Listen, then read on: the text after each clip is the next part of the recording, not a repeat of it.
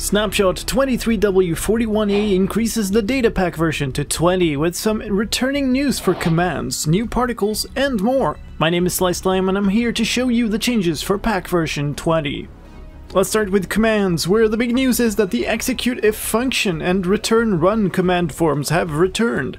These commands were previously introduced in Snapshot 23W31A but then backed out due to bugs before the release of 1.20.2. Now they're back, so let's talk about what they do. Let's start with execute if function. This is a new conditional for calling functions and proceeding if the result is a success. The syntax is execute if or unless function followed by the ID of a function or function tag, then the continuation of the execute command. The function or function tag is run and the execute command continues if or unless at least one of the functions succeeded. A function success is defined as the function using the return command to return a value and that value being non-zero. One change to note here from how the previous iteration of execute if function worked is that if none of the functions called use the return command, neither if or unless versions will continue. This is also accompanied by a change to the function command and how functions return results. Previously, a function command executed from the chat input would return the number of commands executed, while a function command executed from inside another function would return something undefined. Now, a function that doesn't use the return command has no result at all. A function also does not have a result if an error occurs while instantiating the function call. That is to say, the function didn't exist, you tried to call an empty function tag, or you called a macro which contained syntax errors while instantiating. The return command has also been extended with a new form, return run.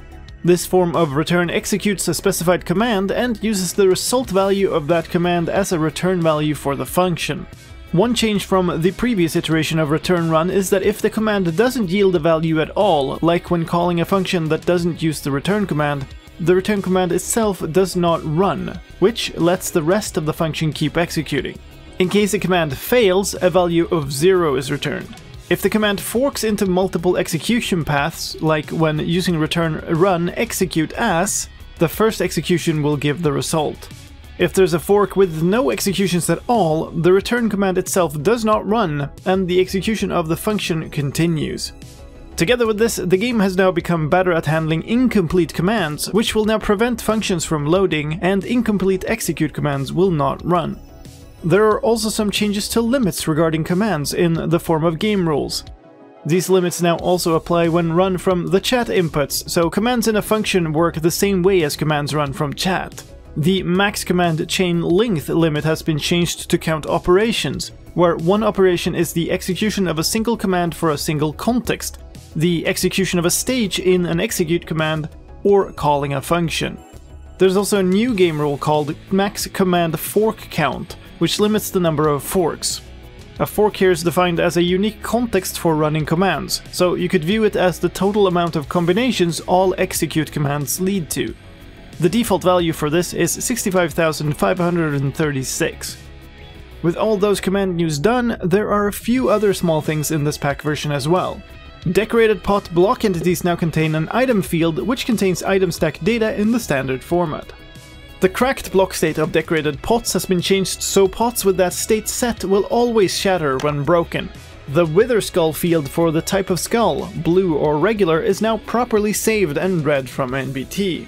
And the name of non-living entities now behave the same as living entities when it comes to having custom name and custom name visible fields. And finally, there's a new particle type called Dust Plume.